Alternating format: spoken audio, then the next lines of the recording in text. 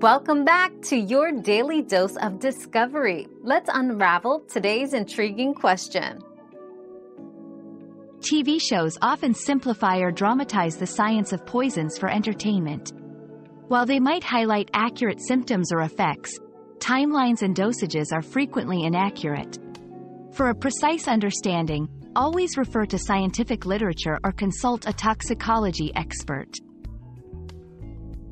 Our quest for knowledge never ends. Thanks for being part of today's discovery.